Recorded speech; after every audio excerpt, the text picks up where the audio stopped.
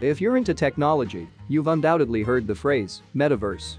The excitement about this term may have peaked when Facebook announced that it was renaming its portfolio of firms Meta to match its businesses with its mission to establish the metaverse. The metaverse does not exist, at least not at the moment. As of now, there is nothing that can legally be called a metaverse. The tale of telecoms pioneer Craig McCaw's first hearing about the internet may be a valuable metaphor for understanding its maturity, with thanks to technology, expert Benedict Evans for the reference. Just as you can't invest in the internet, so too, can you not identify the metaverse as a unique product, technology or service? A better question might be, what could become the metaverse? According to technologists, the internet will ultimately grow into the metaverse, which will become the next major computer platform. If the concept is realized, it is projected to have the same disruptive impact on society and industry as the mobile phone. Today, the internet is frequently the primary entry point for millions of people to access information and services, connect and socialize with one another, sell items, and enjoy themselves. This value proposition is expected to be replicated in the metaverse, with the primary difference being that the distinction between being offline and online will be considerably more difficult to distinguish. This might present itself in a variety of ways, but many experts predict that extended reality, XR, a hybrid of augmented, virtual, and mixed reality, will play a significant role.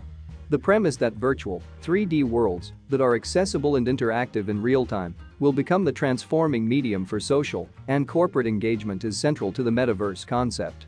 These settings will be dependent on widespread acceptance of extended reality if they are to become realistic. Until recently, XR technologies have mostly been used in video games and specialized corporate applications.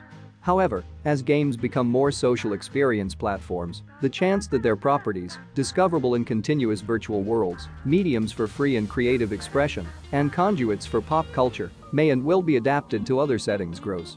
Characteristics and challenges of the metaverse. While all of this explains the metaverse's roots, it cannot foretell exactly what it will look like. Indeed, we are still in the metaverse's conceptual stage. However, investor Matthew Ball has identified seven key characteristics that may assist interested minds in imagining how it may take shape. These characteristics include its persistence, no evident on or off to access, synchronization, existing in real time, and interoperability, as well as being populated with material and experiences from both individuals and companies. Of course, there are concerns about what the metaverse will imply for privacy, whether it would be inclusive, and how to minimize potentially dangerous material and surroundings.